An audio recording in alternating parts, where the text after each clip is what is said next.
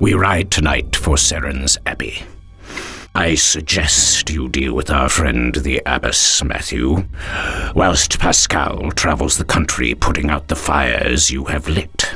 Before the two lovers left, her fool tongue let slip that she was hiding the king. If we make haste, we may catch him before the coward starts running again. Hmm. My day cannot get any better.